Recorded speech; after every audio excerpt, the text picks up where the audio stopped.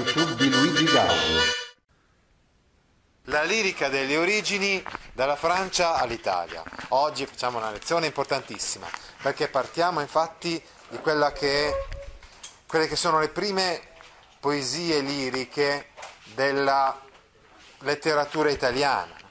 Ma per far questo dobbiamo parlare ancora una volta della Francia, sia per l'epica, la volta scorsa abbiamo visto l'epica, l'epica medievale, sia per la lirica si parte sempre dalla Francia, solo che per l'epica era in lingua d'Oil, mentre invece per la lirica è in lingua d'Oc.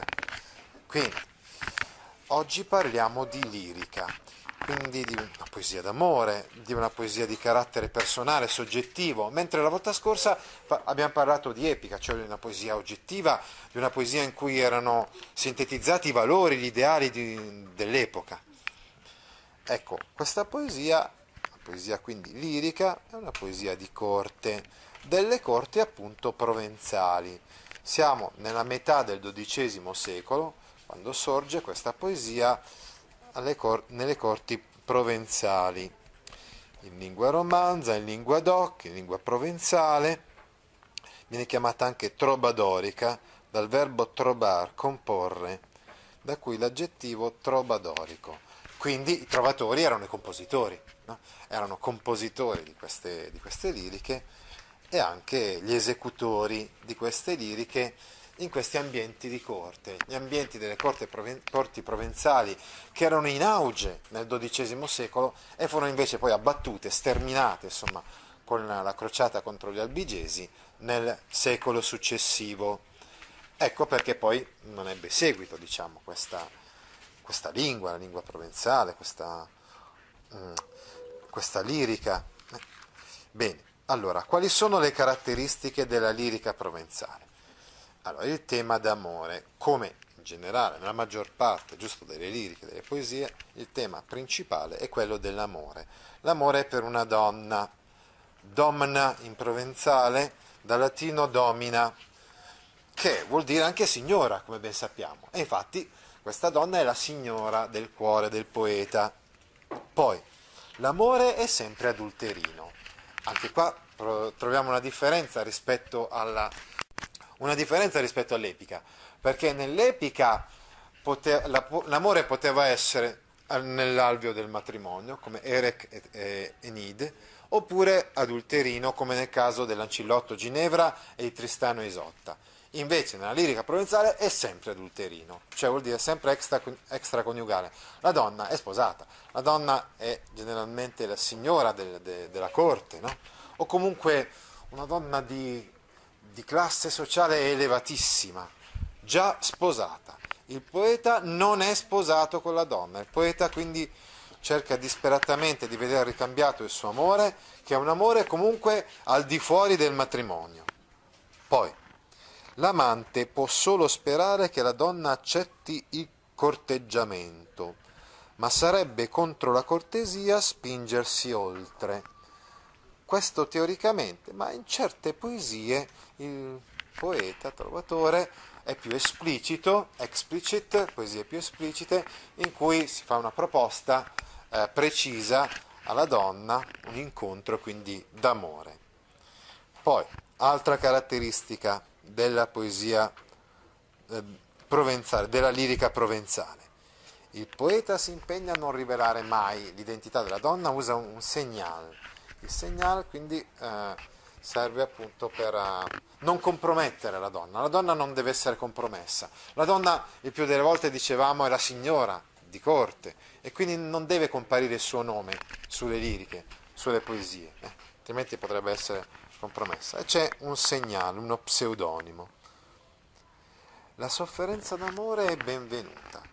Quindi è il sentimento contraddittorio, che vedremo comunque anche nella poesia della lirica siciliana che leggeremo, è proprio il seguente. Il poeta soffre, ma nello stesso tempo prova piacere, prova un sentimento che lo invade tutto, un sentimento d'amore che lo invade totalmente e quindi eh, non, non, non, si sottrae a questa sofferenza. No?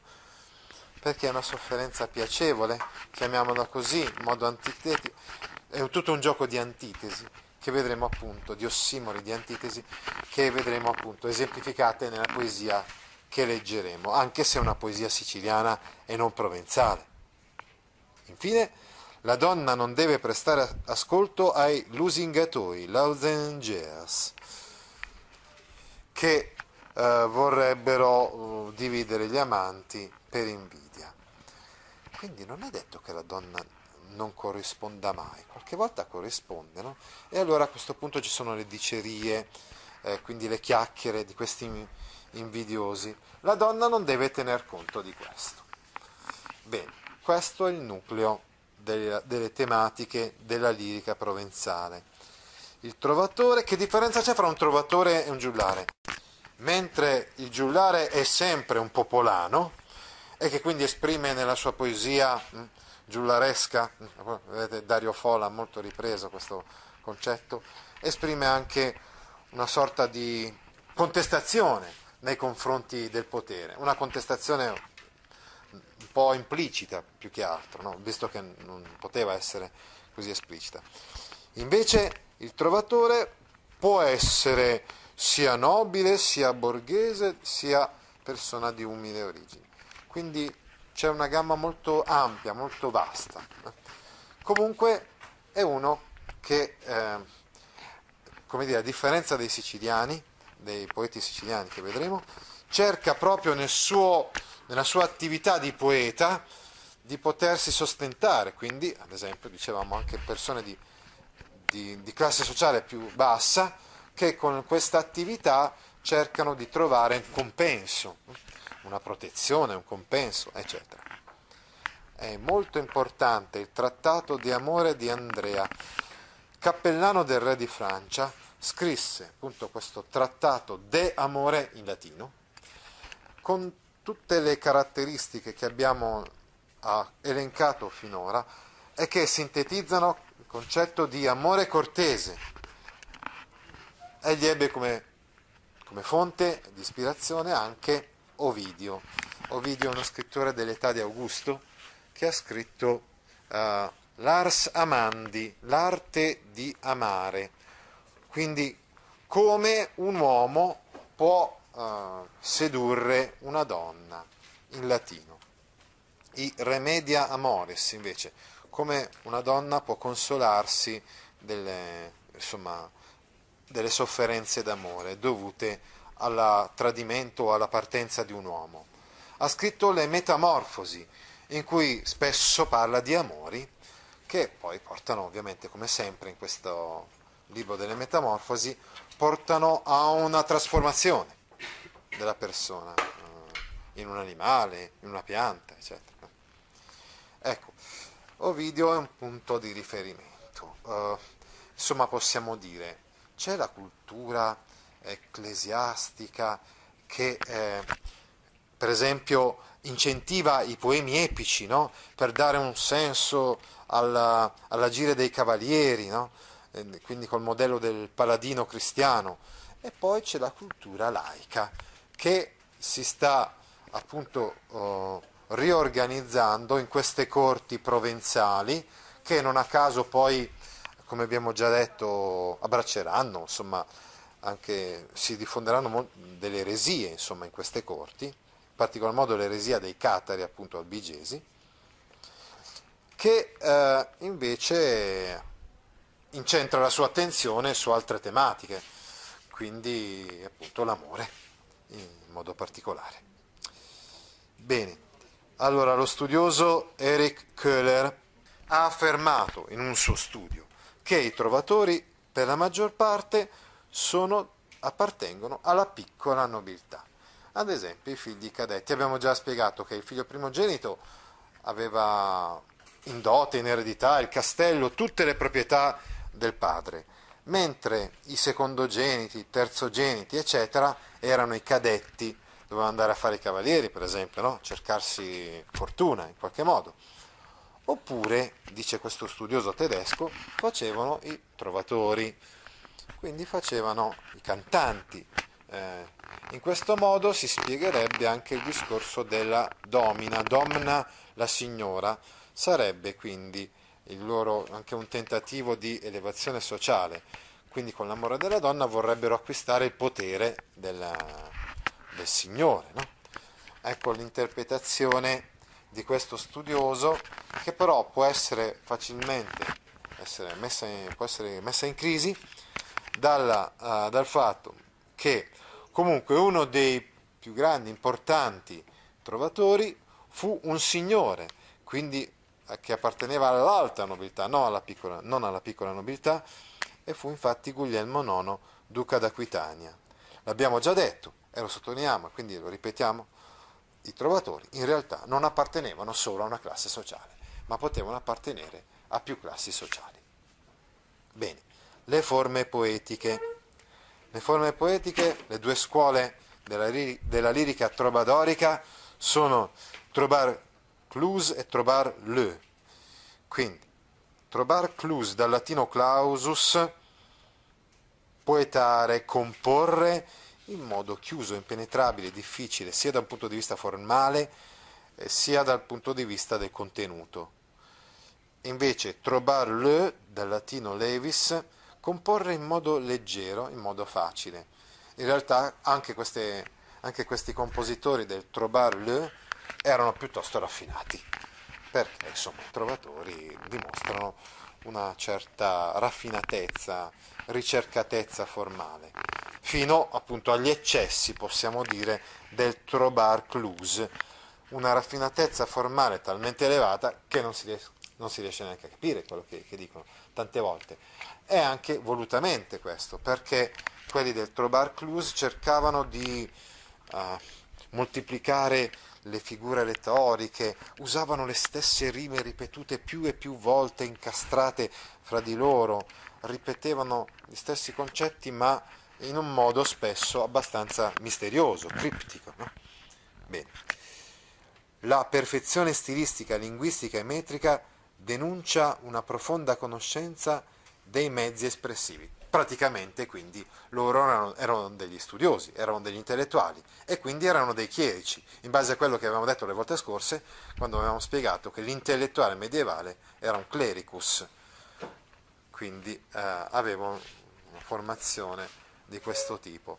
Però il clericus leggeva anche i testi latini e poi poteva permettersi di leggere Orazio. Lo stesso Andrea Cappellano, lo, stesso, lo dice lo stesso nome, no? che è Cappellano della di Francia, un chierico, giusto?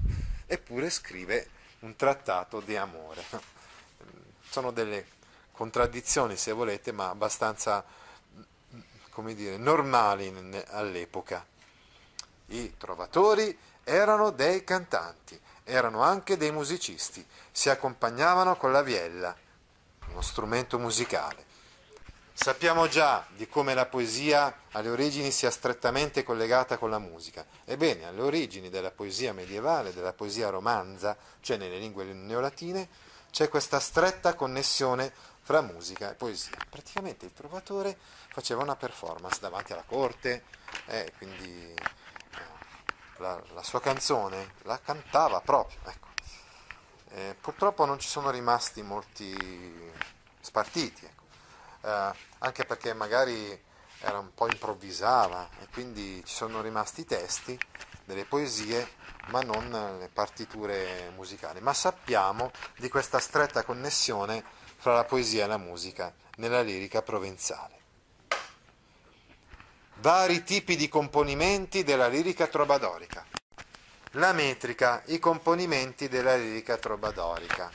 Bene, il componimento fondamentale era la canzone che era di argomento amoroso e, come dice la stessa parola, era musicata. No? Nasce, la canzone nasce per essere accompagnata da musica, perché la canzone provenzale era così. Invece la canzone nella letteratura italiana no, non sarà, uh, con, non prevederà un accompagnamento musicale. Rimarrà comunque l'aspetto formale molto elaborato, molto preciso della canzone. Eh? così come erano le canzoni provenzali molto raffinate, eh, lo erano anche le canzoni insomma, della letteratura italiana. Il sirventese è praticamente una canzone che ha le stesse più o meno caratteristiche formali della canzone vera e propria, solo che ha un argomento politico. nel senso che questi trovatori spesso anche per ingraziarsi i signori, talvolta entravano nelle questioni politiche, esaltavano i signori, le loro imprese, le loro conquiste, oppure eh, colpivano i nemici dei, dei signori, eh, quindi attraverso delle battute eh, molto argute, e questo avveniva nel Sirventese. Poi c'è la sestina. La sestina è un componimento con sei versi, giusto? Magari la sestina poteva essere fatta, eh, poteva essere una poesia di tante sestine, diciamo, no?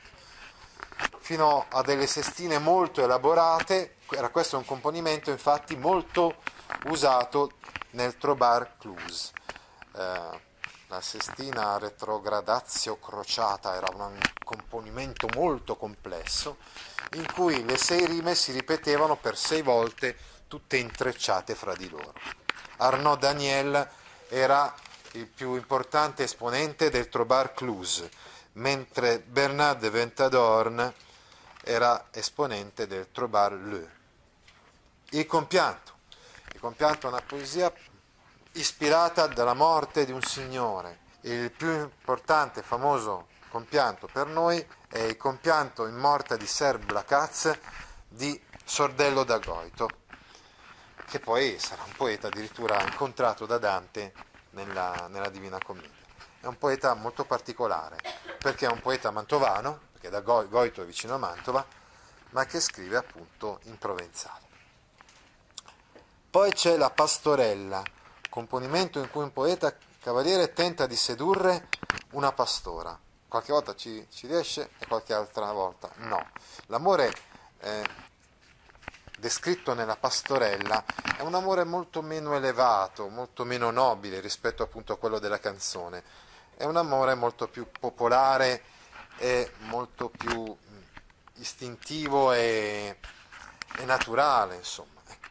Eh, questa cosa verrà ripresa invece in ambito rinascimentale, mm, oppure addirittura nell'Arcadia.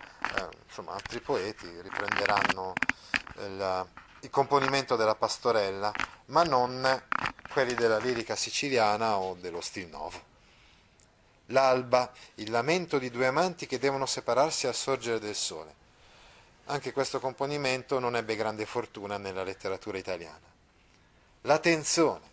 Ecco, eh, delle poesie che sono fatte, eh, diciamo così, tra un poeta e l'altro, che, che poi scherzano, giocano un po', eh, si, si, rispondono per le rime l'un con l'altro.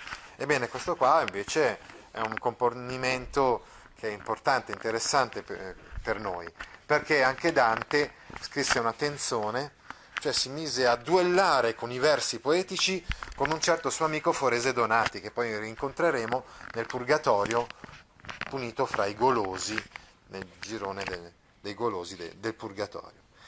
Infine c'era il Placer, che era un catalogo di cose piacevoli, e l'Enueg, catalogo di cose spiacevoli. Questa è la poesia trobadorica. Ma a noi interessa questa soprattutto perché ha ispirato in gran parte la scuola siciliana. Ora, quando, noi, eh, quando io studiavo letteratura, si diceva che il primo componimento, la prima lirica, insomma, vera e propria, della letteratura italiana era eh, il Cantico delle creature, Laudes Creaturarum di San Francesco, e poi subito dopo le poesie della scuola siciliana. Poi invece si è scoperto che nella zona dell'Italia centrale c'era già qualcuno che aveva scritto una lirica, quando stava in le tue catene.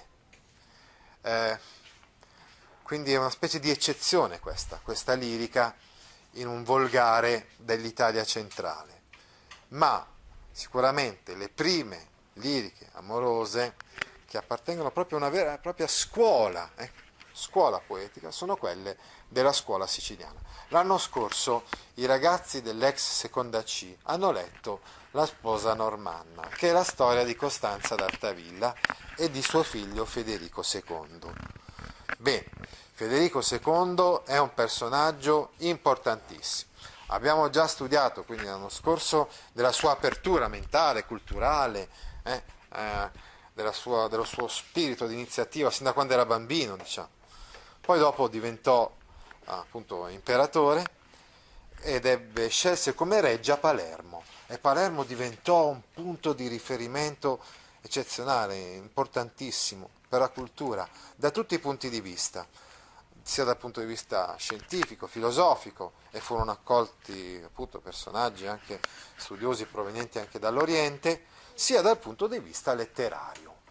E quindi qua abbiamo questa prima scuola letteraria poetica italiana, la scuola siciliana veniva chiamata la Magna Curia, ecco la Curia, la corte di Palermo, la grande corte eh, di Palermo. E scrivevano questi poeti in un siciliano illustre. Abbiamo già studiato, a proposito di Dante, come introduzione alla Divina Commedia, che nel De Vulgari Eloquenzia Dante prospetta un volgare illustre, cardinale, aulico e curiale. Illustre, l'abbiamo già detto, è un volgare che deve illuminare gli altri. Ebbene, diciamo che all'inizio è il volgare siciliano no, a imporsi sulla scena della letteratura italiana, proprio per via di questa corte eh, di Palermo che era, che era, così importante, la corte di, di Federico II. Eh. Se le cose nella storia fossero andate diversamente, in italiano, noi italiani par- par- parleremmo in siciliano invece del toscano. Eh, poi però con la morte di Federico II eh, diciamo che la sua reggia, il suo potere eh, si perde, no? e quindi decade anche la scuola siciliana e quindi questo, questo primo tentativo viene un po', viene un po meno. Ecco, uh, ovviamente i poeti della scuola siciliana scrivevano in questo siciliano illustre con molti latinismi e molti provenzalismi. Ecco, quindi nasce subito colta la letteratura italiana, nasce non come i primi testi di poesia della, della, poesia italiana, sono testi colti, raffinati, elaborati, sono le poesie della scuola siciliana che, hanno, che risentono della tradizione ancora latina, con tanti latinismi, no? e provenzale, che era una tradizione già bella eh, importante, no? affermata nell'Europa del tempo. Tra i poeti della scuola dobbiamo evidenziare soprattutto Giacomo da Lentini, detto anche Jacopo da, da Lentini. E Lentini è una città della Sicilia, appunto, no? vissuto circa dal 1210 al 1260, notaio. Ecco, così come tutti gli altri esponenti della scuola siciliana, egli non, non viveva di poesia, non viveva di lirica, eh, ma era un notaio, quindi all'interno della corte di Federico II, come abbiamo già detto anche nei comuni, si, eh, diventano sempre più importanti i notai, no? quindi assumono un, un ruolo importantissimo.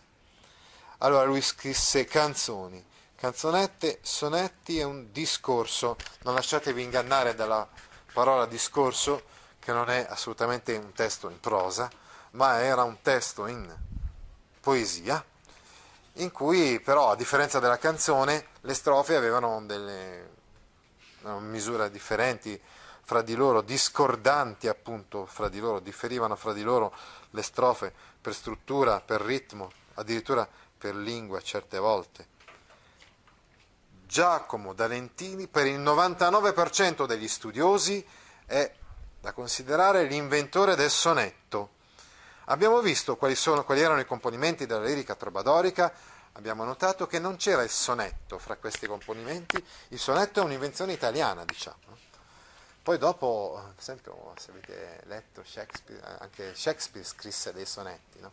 quindi poi dopo il sonetto dalla letteratura italiana si è diffuso anche in altre letterature, ma è nato in quest'ambito, è nato nell'ambito della scuola siciliana. Da Messina proveniva il giudice Guido delle Colonne, abbiamo già detto, no? tutti i poeti siciliani fanno un altro lavoro, il primo era un notaio, questo è un giudice, il primo veniva da Lentini, il secondo da Messina, sempre quindi località della Sicilia, ed è molto, molto bravo, molto raffinato, molto elegante Guido delle Colonne nelle sue poesie, che è nato quando è nato Giacomo D'Alentini, è vissuto però fino al 1287 almeno, e poi Stefano Protonotaro, come dice il suo cognome, chiamiamolo così, era notaio anche lui, era un protonotaro, uno degli antichi notai, è importante, interessante per noi perché di lui ci rimane una poesia eh, in lingua originale, cioè così come l'aveva pensata lui. Tutti questi poeti siciliani scrivono in siciliano illustre, ma in realtà poi noi leggiamo le poesie toscanizzate, tranne questa poesia proprio di Stefano Protonotaro, che è una poesia che ci è rimasta originale, che si intitola Pirmeocori Alligrari. Poi abbiamo Pier delle Vigne, che viene da Capua invece, quindi vabbè, dalla Campania. Pier delle Vigne però diventa cancelliere dell'imperatore, consigliere dell'imperatore, eh, quindi un personaggio importantissimo alla corte di Federico II, fino a quando, intorno proprio agli ultimi anni, quindi nel 49, fino a quando delle persone non riescono a convincere l'imperatore che lui l'ha tradito, cioè che Pier delle Vigne ha congiurato contro l'imperatore. E allora Pier delle Vigne viene incarcerato, è talmente disperato che poi batte la testa con, contro le pareti del carcere fino a suicidarsi e lo ritroveremo nel tredicesimo canto dell'inferno fra i suicidi, nella selva dei suicidi. È stato un grande poeta anche lui, ci sono rimaste poesie di Pier delle Vigne, poi di Rinaldo d'Aquino, di Giacomino Pugliese e poesie anche di Federico II. Ci sono delle poesie scritte dallo stesso imperatore, appunto da Federico II. Così come vedremo poesie scritte da Lorenzo de' Medici, anche lo stesso Federico II si dilettò di poesia, benché prediligesse la scienza, la filosofia, eccetera. Federico lo vedremo anche lui nella commedia di Dante, fra gli eretici, perché si dilettava molto di filosofia e seguiva, diciamo, delle teorie filosofiche non del tutto ortodosse, diciamo in riferimento alla Chiesa Cattolica. Bene, il rapporto con la poesia trobadorica.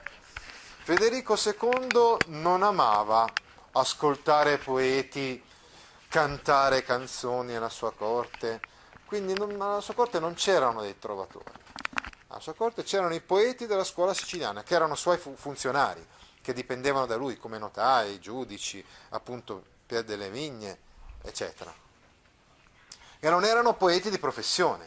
Invece i trovatori erano poeti di professione che certe volte giravano per le corti a fare le loro performance, a cantare, eccetera, eccetera. Ebbene, nella corte di Federico II non vennero mai dei trovatori, ma noi sappiamo che eh, comunque influirono molto eh, sulla scuola siciliana. Come influirono? Beh, attraverso dei codici che contenevano poesie provenzali che erano presenti nella biblioteca, lì Re, nella reggia di, di Palermo. Come erano arrivati questi codici? Alcuni dicono addirittura che eh, Federico II aveva degli alleati, erano dei signori ghibellini, ovviamente. No? Ora, uno di questi alleati, il signore della Marca Trevigiana, un certo Alberico da Romano, imparentato con quello che poi sarà Ezzelino da Romano, no? un signore crudele. Eh, diciamo che ha fatto un trattato appunto con Federico II no?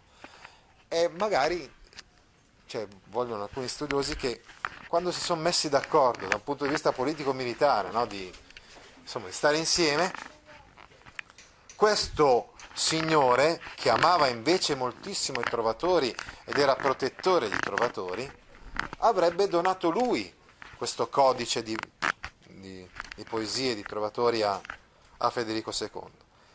Nel 1232 a Pordenone c'è stato l'incontro fra Federico II e questo signore e allora si dice va, la scuola siciliana nasce nel 1232. Forse è vero, forse magari bisogna andare qualche anno prima, quando è stato incoronato l'imperatore Federico II.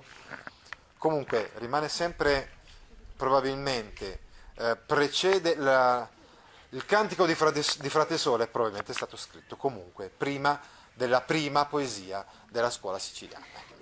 Da un punto di vista cronologico la scuola siciliana viene dopo il cantico delle, delle creature, il cantico di frate e sorelle. Parliamo adesso della canzone e del sonetto. Canzone nel periodo medievale è ben diversa rispetto alla canzone leopardiana, l'abbiamo spiegato l'anno scorso. Insomma, non riprendiamo l'argomento. Guardate comunque qua com'era ben preciso lo schema di una stanza, cioè di una strofa in una canzone, appunto, ad esempio nelle canzoni dei provenzali o dei siciliani. Come vedete, la canzone era divisa in in stanze e le stanze a loro volta erano divise in fronte e sirma. Ogni fronte aveva almeno due piedi, no? primo e secondo piede. No? Insomma, potete vedere questo schema che si ripeteva tale quale in tutte quante le stanze della canzone, tranne nell'ultima stanza, che era detta anche congedo, che poteva essere più breve. Ecco, un'altra cosa interessante che vorrei sottolineare è che talvolta la struttura della canzone eh, veniva arricchita con alcuni espedienti tratti dalla poesia provenzale. La Coblas Capfinidas finiva una strofa e nel verso finale della strofa c'era una parola, quella parola era presente anche all'inizio, quindi nel verso iniziale della strofa seguente. E questo è il caso della Coblas Capfinidas. Invece Coblas, le Coblas Capcaudadas erano eh, delle strofe, coblas vuol dire strofe, che avevano una coda che si ripeteva nell'inizio della strofa successiva, cioè voglio dire, l'ultimo verso di una strofa rimava con il primo verso della strofa seguente. Queste due, queste due mi, mi, mi, interessava uh, sottolineare. Invece dicevamo il sonetto.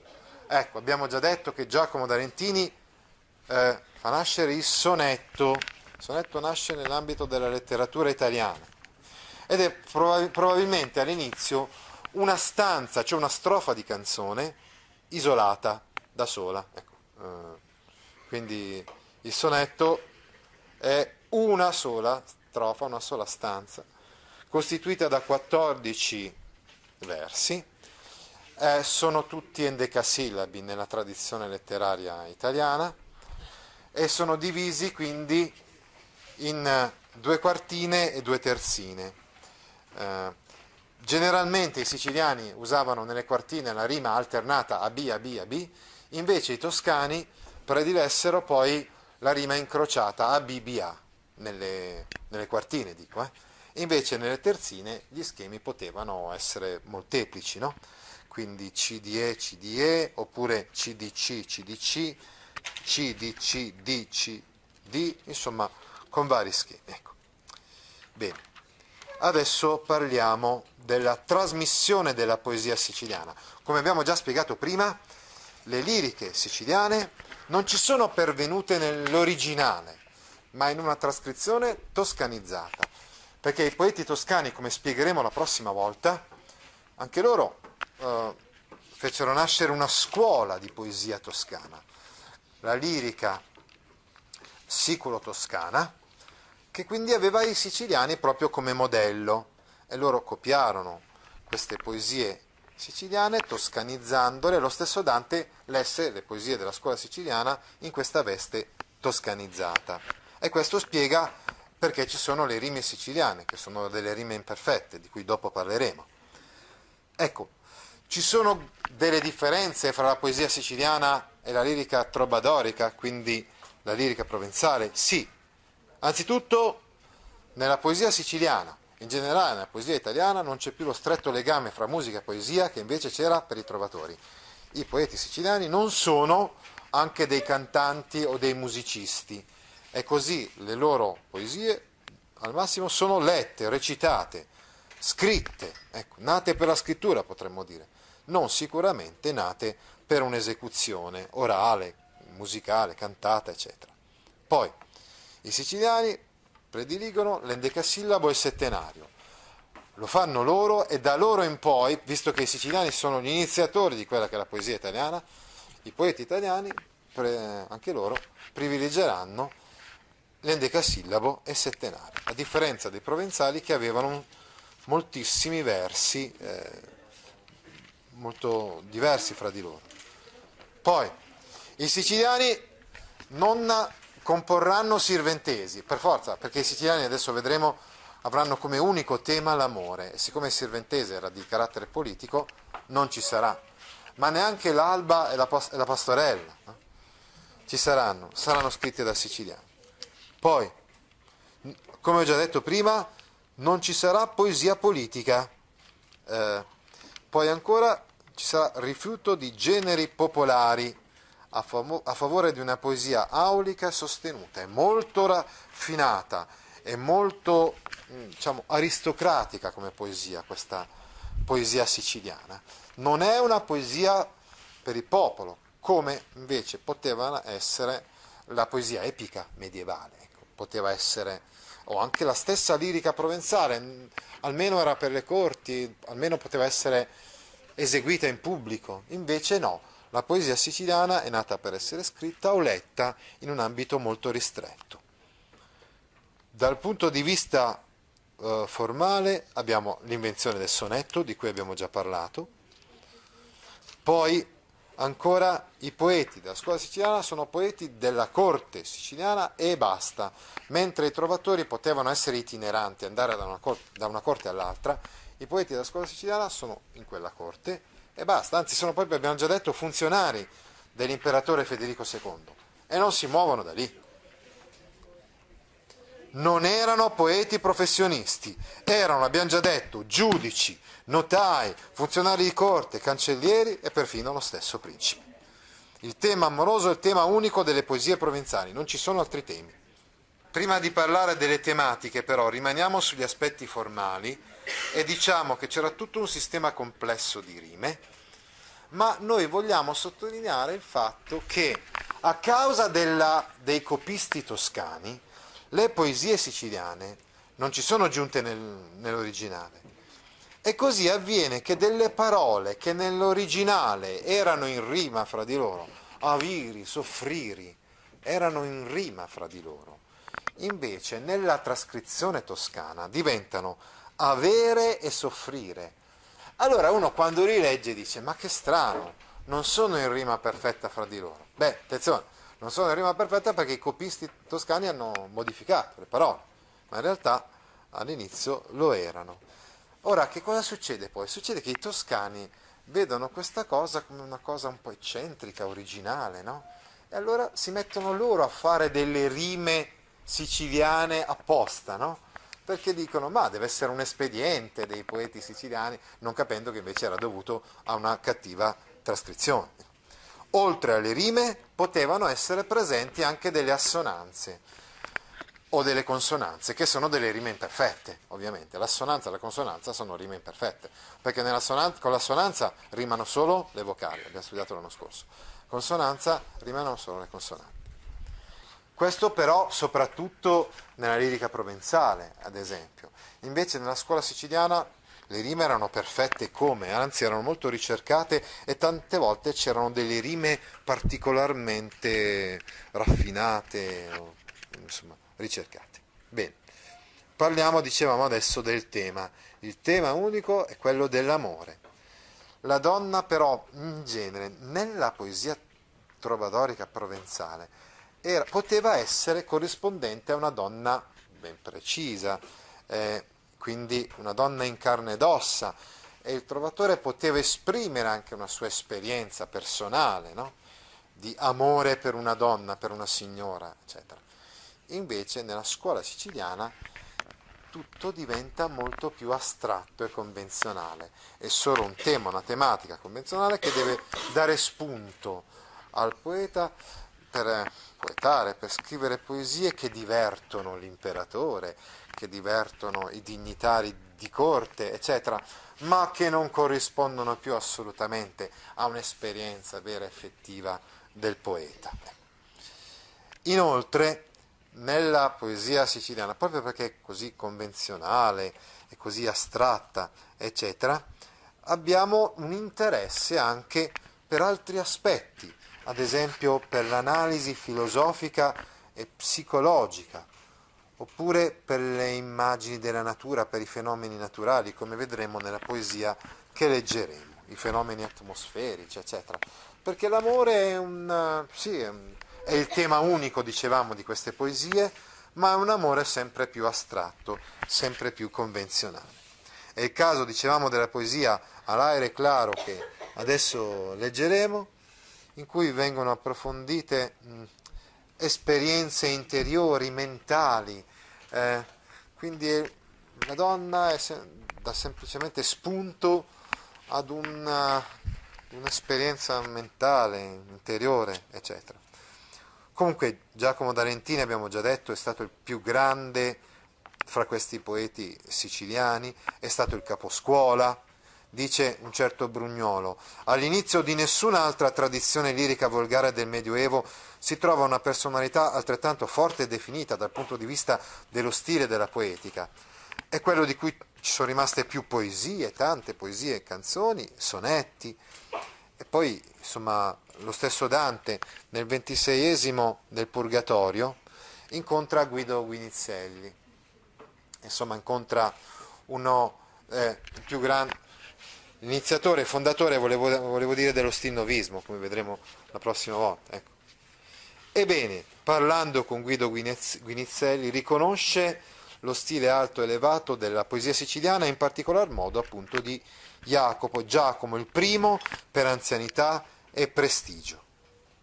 Dopo di lui, abbiamo già detto, ci sono stati tanti altri poeti della scuola siciliana, tra cui ricordiamo almeno Guido Colonna, Guido delle Colonne per la sua grande abilità eh, e per la sua perfezione formale e stilistica, e poi eh, Stefano Protonotaro, che è sempre più vicino ormai alla scuola sicolo-toscana, di cui parleremo la prossima volta, ed è l'unico, dicevamo, di cui ci è rimasta una poesia originale in siciliano illustre.